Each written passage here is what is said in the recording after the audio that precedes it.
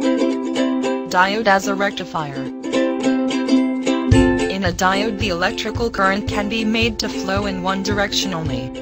If the diode is reversed the flow of current is stopped. Thus, diode can act as rectifier to convert alternating current to direction current. The process of converting alternating current into direct current is called rectification. There are two common types of rectification. Half-wave rectification and full-wave rectification. Half-wave rectification is a process where only half of every cycle of an alternating current is made to flow in one direction only. The diagram shows a rectifier circuit used for half-wave rectification.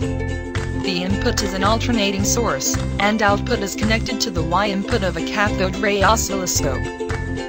The direction of the alternating current changes repeatedly according to the power supply voltage as shown in the diagram. The diode which is connected in series with the load resistor will allow current to flow in one direction only. The output voltage wave can be displayed on the cathode ray oscilloscope screen. During the first half cycle, the applied voltage is positive so a current is allowed to pass through the diode. During the second half cycle, the applied voltage is negative so no current can pass through the diode. Therefore, a diode allows current to pass through in one direction only for the first half cycle. In full wave rectification the use of diode to convert alternating current to direct current so that the flow of current is always forward. The diagram shows four diodes connected form a bridge rectifier. The input is an alternating source, and output is connected to the Y input of a cathode ray oscilloscope. The output voltage wave can be displayed on the cathode ray oscilloscope screen. During the first half cycle, the voltage at terminal P is positive.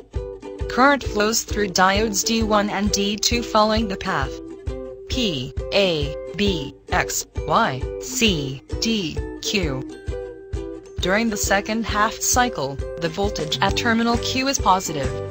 Current flows through diodes D3 and D4 following the path Q, D, B, X, Y, C, A, P, Thus, a direct current voltage is produced across the load resistor, R since current flows in one direction only, for both the first and second half cycles.